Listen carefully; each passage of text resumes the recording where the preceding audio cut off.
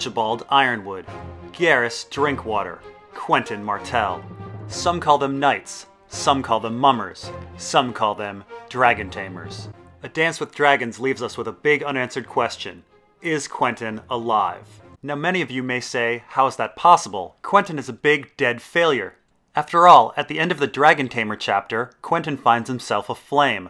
And then three days later, Barristan sees him die in the Queen's Hand chapter. Case closed. Quentyn is dead.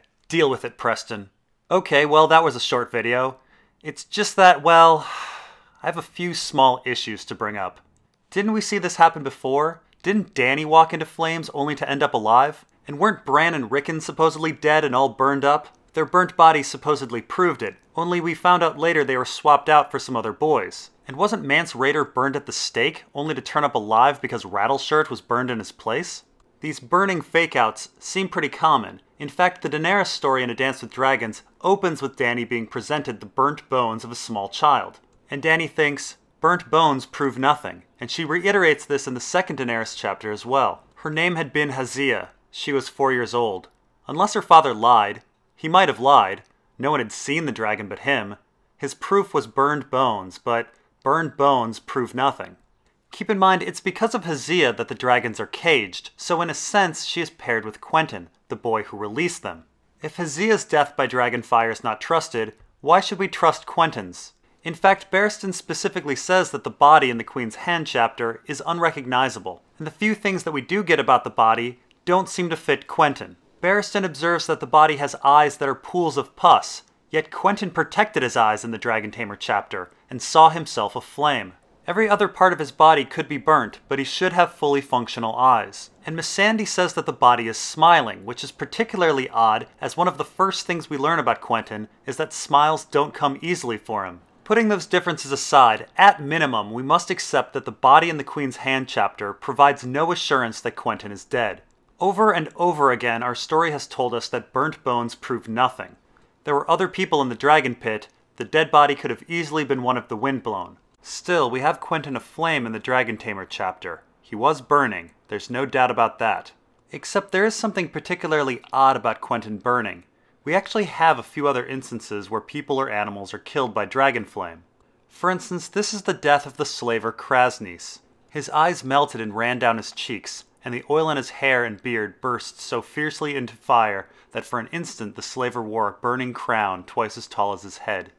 The sudden stench of charred meat overwhelmed even his perfume, and his wail seemed to drown all other sound. So Kraznys experienced a pretty violent combustion where his eyes melted.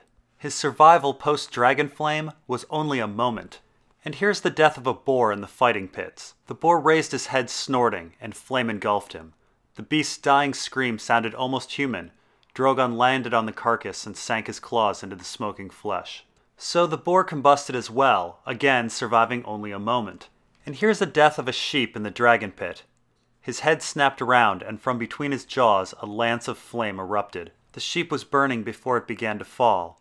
Before the smoking carcass could strike the bricks, the dragon's teeth closed around it. Again combustion, and again only surviving a moment. And here's the death of one of the windblown. As he dropped his weapon to try to pry apart Viserion's jaws, flame gouted from the tiger's mouth. The man's eyes burst with soft popping sounds, and the brass around them began to run. So here we have exploding eyes and a heat level that's able to melt brass. And here is Quentyn. Quentyn turned and threw his left arm across his face to shield his eyes from the furnace wind. Rhaegal, he reminded himself. The green one is Rhaegal. When he raised his whip, he saw that the lash was burning. His hand as well. All of him, all of him was burning. Oh, he thought. Then he began to scream. So we see there's an enormous difference between the heat directed at Quentyn and the heat directed at Kraznys, the boar, the lamb, and the windblown crossbowman. For the latter group, the heat is much more intense. It melts eyes and brass and causes immediate combustion. We're talking about something in excess of 900 degrees Celsius or 1600 degrees Fahrenheit, which is the melting point of brass.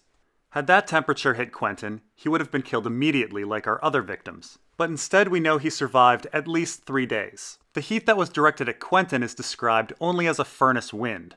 Now, I haven't spent much time around open furnaces, but I have opened a hot oven.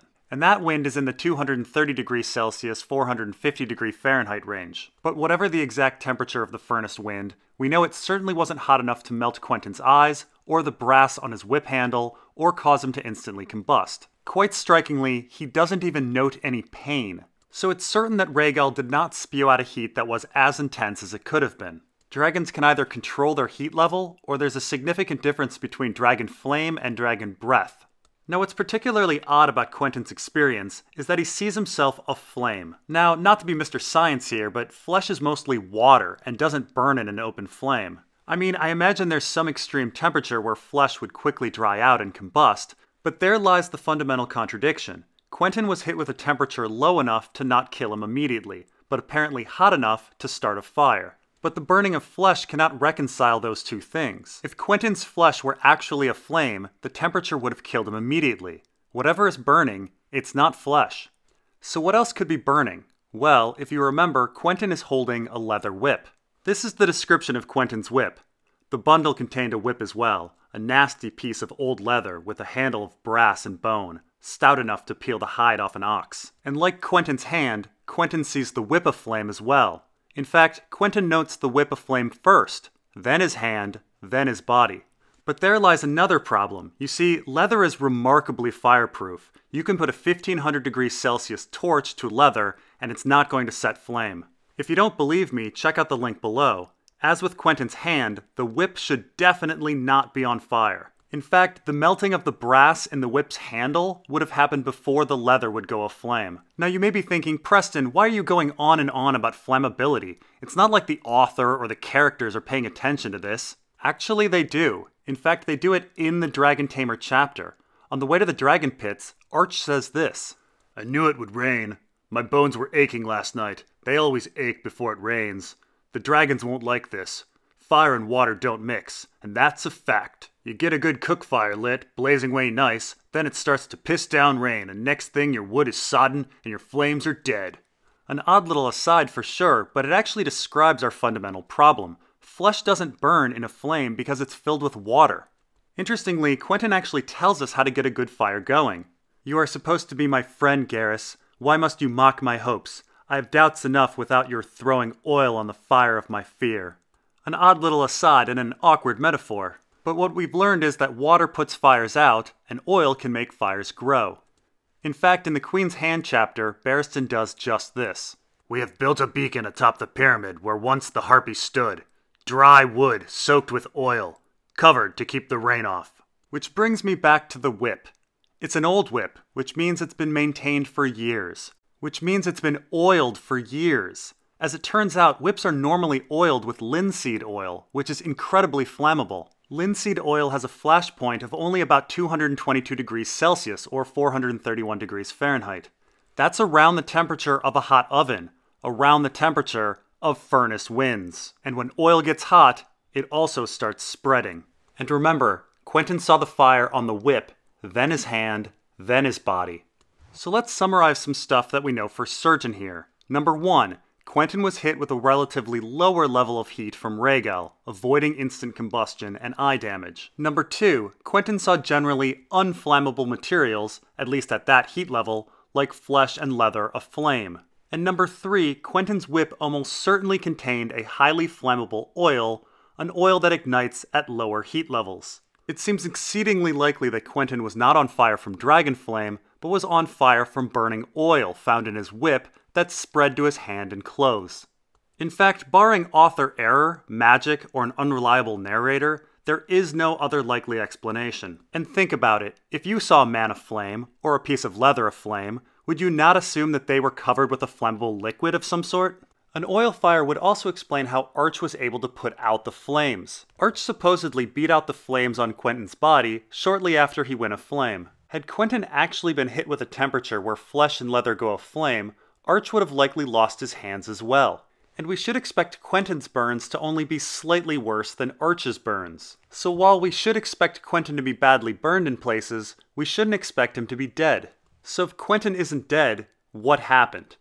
Well, that is the big question, and one our author has purposely hidden from us. The Dragon Tamer chapter ends shortly after Quentyn goes aflame, and Arch and Drink's retelling of the events skip over what happened. Our author, as well as Arch and Drink, are obscuring the events for some reason. In fact, when Arch and Drink talk to Barristan, they do a great deal of lying. Let's go over that scene. So the first thing that happens is that Barristan tells Arch and Drink that Quentyn is dead.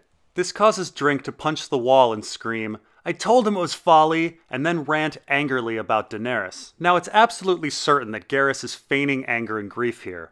Gerris is described as never ill at ease. In fact, earlier in the story, three of his friends were killed and he displayed no reaction to it. As Quentyn notes, even the death of three friends had not served to chasten him, it would seem.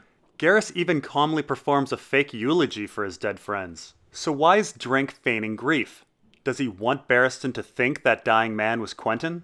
Gerris then proceeds to argue untruthfully for an entire page about the love and fealty that Quentyn had for Dany. Why is Drink trying to repair the reputation of a supposed dead man? One would think that the two would be trying to save their own skins and their own houses. Weirdly, even after Barristan assigns blame to Arch and Drink, Drink concisely says that they owed Quentyn obedience before going right back to trying to repair Quentyn's reputation. And Gerris would have kept going had Arch not interrupted him. Keep in mind, Arch and Drink had three days to prepare for their conversation with Barristan. So after three days, they felt that the most important information to convey to Barristan was that Quentyn wasn't a bad guy. Did they do this because they thought Barristan would be meeting Quentyn again?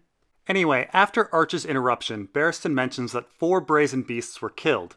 Interestingly, Arch then lies and says he only killed one of the brazen beasts, and the sellswords killed the others. In fact, Drink killed a brazen beast as well.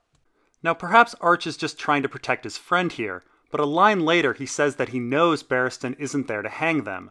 So, why omit Drink's crime? Drink is even halfway to confessing his crime by claiming he was protecting Quentyn.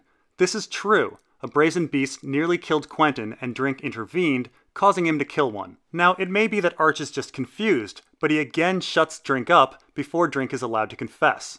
This points to the fact that Arch knows exactly what he's saying. He's deliberately covering up Drink's crime. But if Arch isn't confused and Arch isn't trying to save Drink's life, what's the point of covering up the crime? Well, it could have something to do with Drink's sword. After killing the brazen beast, Drink's sword should be bloody, However, no mention of this is made when Drink is found with his sword out afterwards. Of course, he may have just wiped down the sword, or the details of the bloody sword were excluded. However, the sword is suspicious as Drink has it out for some reason. There shouldn't be any reason that he has his sword out. It implies that Drink was fighting, and the most likely foes are the Windblown.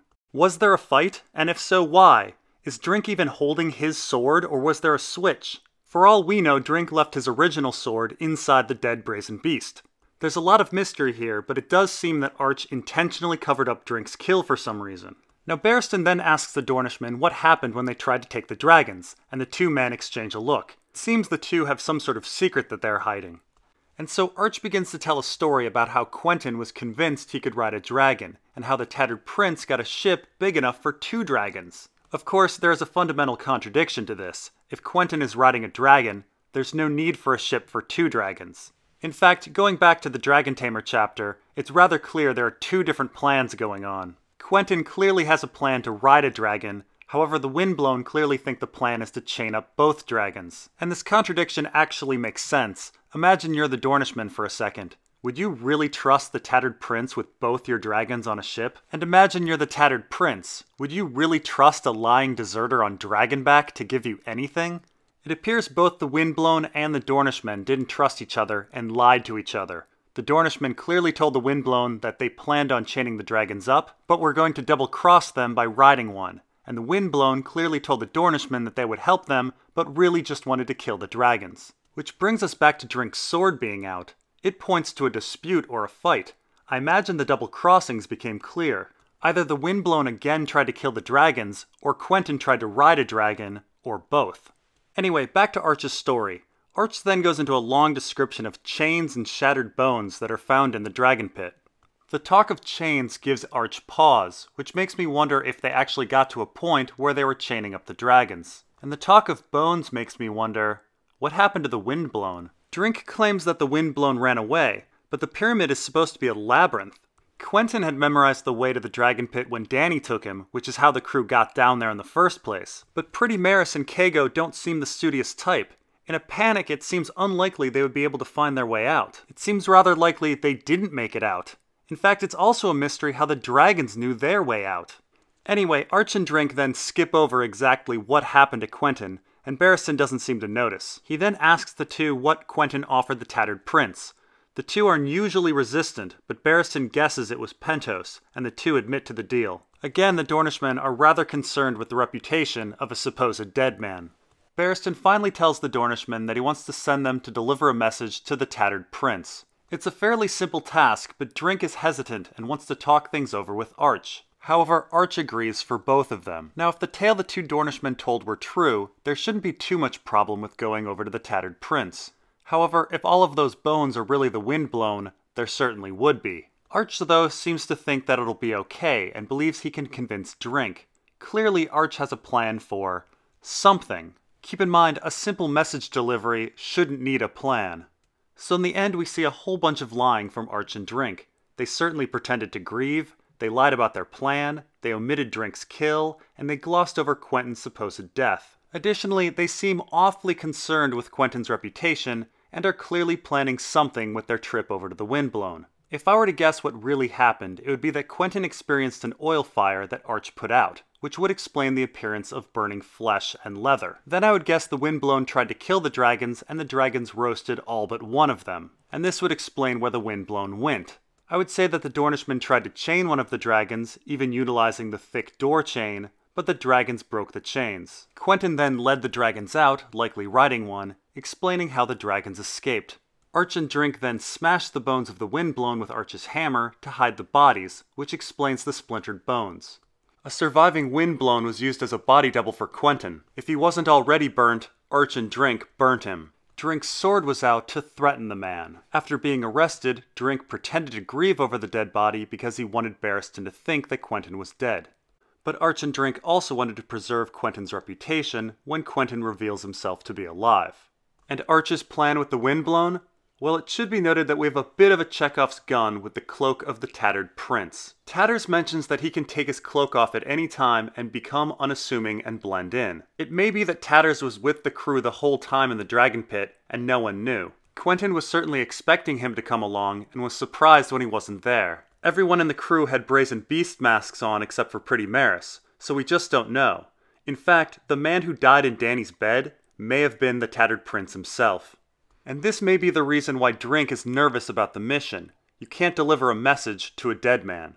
However, Arch's plan may be about someone putting on a tattered cloak and impersonating the tattered prince to take control of the company. Of course, much of this is conjecture. What we truly know is that our author has made Quentyn's supposed death suspicious as hell. The Dragon Tamer and Queen's Hand chapters are filled with lies, contradictions, half truths, and mysteries. However, my money is on the return of a Dornish prince named Quentyn Martell.